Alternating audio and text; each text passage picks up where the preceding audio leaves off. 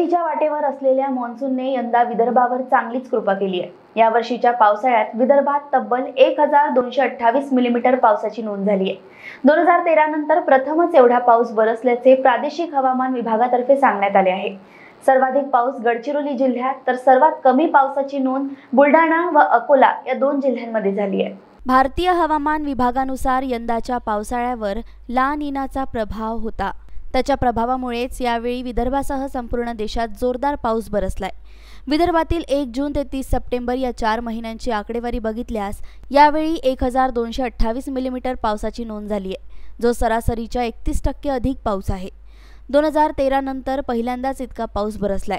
नऊ वर्षांपूर्वी विदर्भात एक हजार तीनशे साठ मिलीमीटर पावसाची नोंद झाली होती.